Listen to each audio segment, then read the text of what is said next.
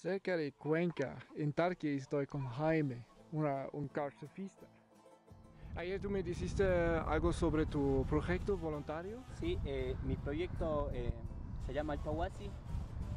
El proyecto eh, Alpahuasi significa casa de tierra.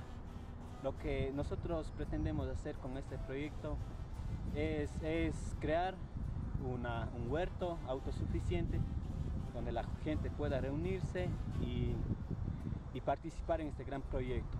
Así hicimos mate. y está bien para, para desayunar. ¿Qué es esto? Ah, esta es la cocina vieja. Ya. Aquí se va a hacer un bar así, un bar medio temático.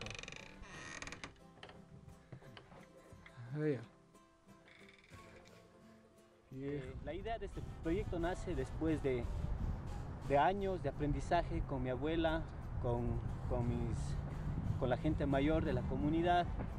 He absorbido todos los conocimientos ancestrales que, que están desapareciendo porque no hay gente que está tan interesada en. El programa de voluntariado que estamos estando es para, es para investigaciones, por ejemplo, en botánica. Hay muchas plantas medicinales que conozco, pero necesitan también un respaldo científico para poder que tenga más valor, ¿no? digamos así. Ya. Y, y también estamos trabajando en cuanto a construcciones eh, autóctonas con barro. Eso es lo que significa Alpahuasi, casa de tierra. Eh, lo que nosotros podemos ofrecer a los voluntariados es hospedaje y comida, comida orgánica, 100% orgánica, eh, producidos en nuestros huertos. También los voluntariados que estén trabajando en, en nuestra finca eh, tendrían momentos para caminatas.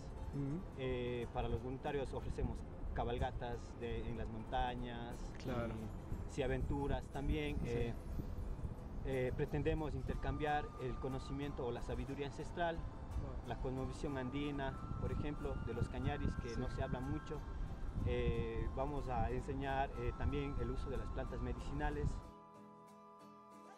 Tú estás hijo de una familia cañari, me dices. Sí, exactamente. eh, mi apellido es Sakipai, pero Sakipai significa eh, déjale libre.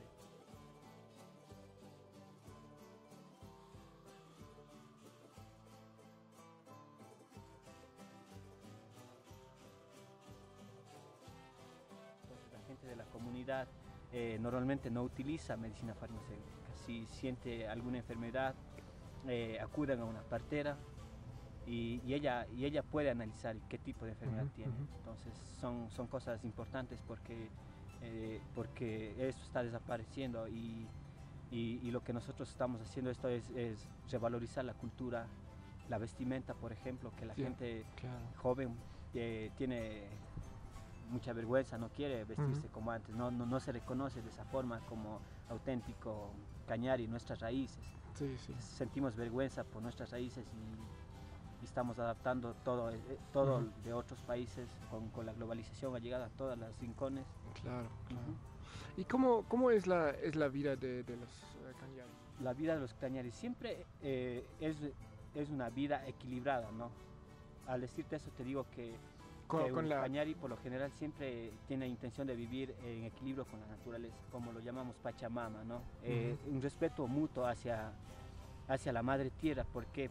Porque sabemos que la madre tierra no depende de nosotros, nosotros dependemos de la madre tierra. Entonces estamos quitando demasiado más de lo que ella nos puede dar, entonces estamos llegando a un punto de desequilibrio que algún día nos puede afectar mucho a la humanidad entera, no solamente a pequeños pueblos, sino a todo el mundo. Sí, bueno.